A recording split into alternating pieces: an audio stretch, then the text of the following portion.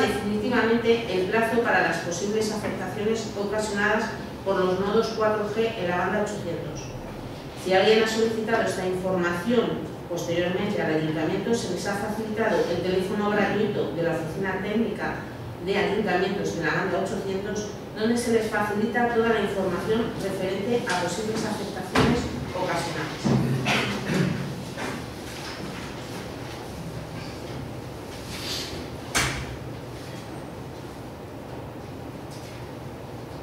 ¿Se está tomando alguna medida desde el ayuntamiento para que el centro acuático Caleón funcione correctamente? La sauna no funciona desde hace más de 30 días. El agua de la piscina está fría y hay goteras en el gimnasio. Decirle que... No, no, eso no lo ha puesto usted la pregunta, se la acabo de inventar. Vale, pues me voy a olvidar. Vale, vale. Ah, vale. No, no, no, eh, es que yo tengo sí, pero posiblemente demasiado. Vale. Bueno, pero hay, vale, no pasa nada. Bueno, yo decirle que vuelve a, fa- a faltar a la verdad diciendo que la sauna no funcionaba desde hace más de 30 días. Entonces le pediría que no falte a la verdad. El ayuntamiento realiza eh, varias visitas al- de control durante el mes para la supervisión del buen funcionamiento del centro y debido a esas supervisiones se han iniciado, están dando indicaciones a la empresa que lleva el centro y la empresa ha preparado, por ejemplo, entre otras cosas, pistas de pádel, pádel, se han cambiado suelos de diferentes salas y se han preparado diferentes zonas. Con respecto a la sauna, decirle que no lleva más de 30 días eh, sin funcionar. Eh, se han cambiado los mandos de control instalándolos en una dependencia contigua para evitar el mal uso observado por algunos usuarios que no atienden a las indicaciones del personal responsable, como por ejemplo vertiendo agua con cloro en cantidades indebidas sobre las piedras cuando eso no se debe de hacer.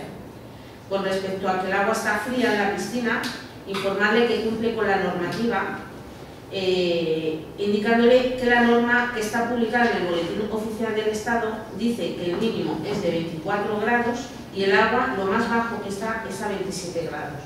Lo que a usted le puede ocurrir es que cuando salga del agua usted tenga una sensación térmica inferior, pero el agua cumple con la norma del Real Decreto 742-2013 del 27 de septiembre, por lo que se establecen los criterios técnicos sanitarios de las piscinas. Continúa, por favor. El cementerio de nuestro municipio no ha cumplido con el horario de apertura. Ya, ¿A qué debido? Se va a subsanar. El cementerio cumple con el horario de apertura. Si por cualquier circunstancia puntual el cementerio está, está cerrado, los vecinos han llamado al ayuntamiento y o a la policía municipal e inmediatamente se ha producido a la apertura del cementerio. Sí, hay que tomar esto.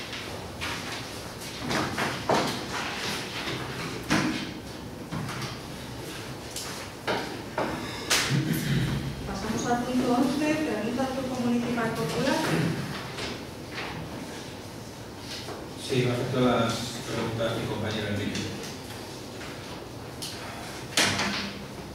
Bueno, nadie quiera ser alcaldesa del Ayuntamiento de de Medio, si no ve, si lo contesta otra persona. Yo es que soy la portavoz del grupo municipal socialista. Perfecto.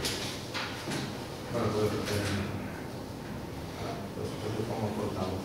Bueno, pues vamos a hacer el portavoz, ¿verdad? Disculpa, eh, Diga. Bernardo, siempre es el portavoz el que suele contestar a las preguntas. Perfecto. Bueno, le vamos a enseñar al portavoz y nos contesta las siguientes preguntas que efectuamos. efectuamos. Toda vez que nos ha negado la documentación e información sobre la misma, así como los justificantes de los pagos de dicha asociación al ayuntamiento. Eh, se está jugando una liga municipal de fútbol en el, pabellón municipal desde el año 2017 y este grupo municipal ha solicitado el contrato o el convenio que tiene firmado desde entonces con la Asociación Deportiva y Arbitral del Sur de Madrid, a lo que se niegan, por lo que les preguntamos, ¿cuáles son las condiciones de dicho contrato convenio? En primer lugar, decirles que una vez más vuelven a faltar a la verdad. Y faltando a la verdad, de verdad, es que me duele el alma decírselo, pero es que están insultando a todos los vecinos de Moraleja de Medio.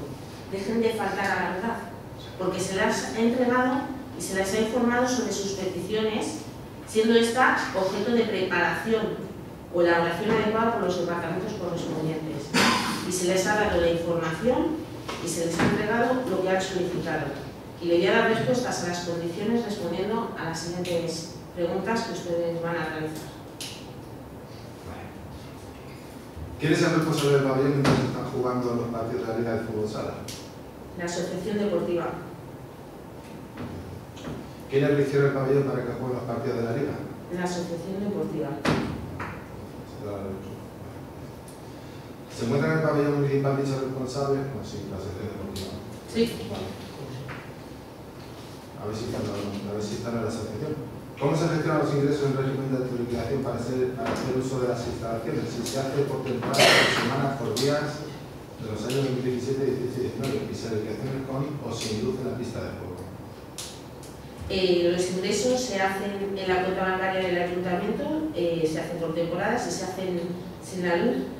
Y ya que, vamos, eh, para darle más información, ya que dice que nada más digo, la asociación deportiva le voy a dar más información que nos consta que durante ejercicios anteriores al, al 2010 en el pabellón deportivo se realizaban ligas y el ayuntamiento en el ayuntamiento no figura ningún ingreso en las cuentas bancarias del ayuntamiento por la utilización de estas instalaciones, nada más que aparecen a partir de estos últimos ejercicios del 17, 18 y 19. No sé si usted, señor Bernal, como miembro, del Grupo Municipal Popular y que me está haciendo esta pregunta, seguro que sabe perfectamente de lo que le estoy hablando.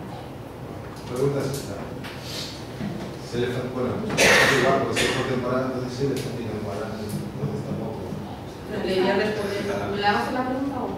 Sí, se le facilitan cuadrantes de los fines de semana que pueden poner- disponer del pabellón durante la temporada o lo van haciendo de semana en semana, de los años 17, 18, 19. Se va modificando según las necesidades que tiene el ayuntamiento. Pues, esperemos que no se haga. Bueno, pues- Solo hay una persona aquí que solamente- Bueno, terminando, terminando el punto de los y preguntas, levantamos